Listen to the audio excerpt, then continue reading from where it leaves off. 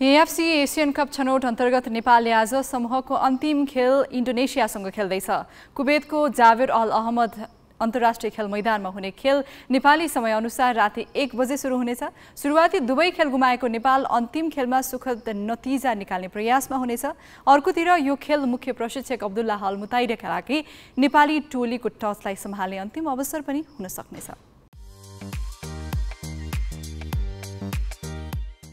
सन् दुई हजार चौधमा नेपाल र इन्डोनेसिया पहिलोपटक आमने सामने भएका थिए। इन्डोनेसियाको घरेलु मैदानमा भएको सो मैत्रीपूर्ण खेलमा नेपाल दुई शून्य गोलले पराजित भएको थियो। त्यसै यी दुई टोलीले एक अर्का विरुद्ध प्रतिस्पर्धा गरेका छैनन्। यी दुई टोली करिब आठ वर्षपछि एफसी कप एसियन छनौटमा आज एकअर्का विरुद्ध आमने सामने हुँदैछन्।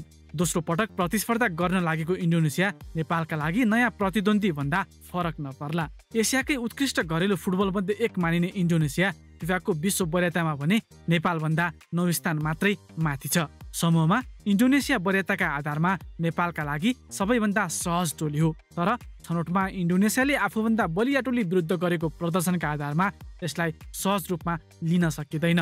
इन्डोनेसियाले पहिलो खेलमा कुवेतलाई दुई एक गोलले पराजित गर्दा दोस्रो खेलमा जोर्डनसँग मात्र एक शून्य गोलले पराजित भएको थियो।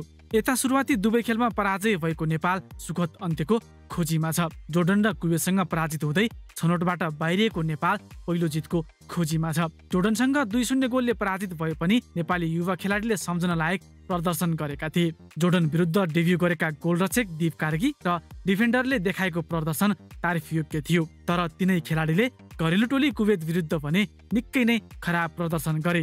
सेन्टर डिफेन्समा निकै कमजोर देखेको नेपालले कुवेत विरुद्धको खेलमा धेरै समय बल खोज्नमै खर्चियो।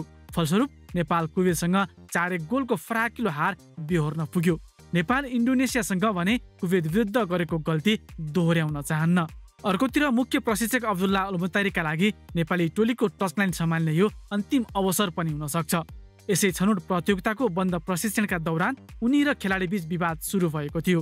अलमुतारीको व्यवहारप्रति असन्तुष्टि जनाउँदै अधिकांश सिनियर खेलाडीले बन्द प्रशिक्षण छाडेका थिए। विवादबारे छानबिन गर्न एन्फाले छानबिन समिति नै गठन गरेको थियो। सोही समितिले विवादको मुख्य कारक प्रशिक्षक अलमुतारी रहेको निष्कर्षसहित एसिया कप छनौटपछि उनलाई बर्खास्त गर्न सुझाएको थियो। त्यसैले पनि अलमुतारी आफ्नो अन्तिम खेललाई सुखद बनाउन चाहन्छन्। तर समूहको दोस्रो स्थानमा रहेको इन्डोनेसिया विरुद्ध अङ्क खोज्न नेपालका लागि त्यति सहज भने पक्कै हुने छैन। É palavra aqui! Sim.